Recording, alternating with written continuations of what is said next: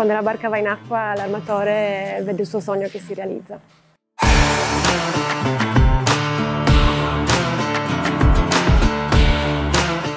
Nella vita scatta l'amore a un certo punto, no? Il 50 è una barca che ha una dimensione che con un equipaggio ridotto, io e mia moglie ce la portiamo in giro, abbiamo fatto tante, tante miglia in comfort, non abbiamo avuto nessun tipo di problema.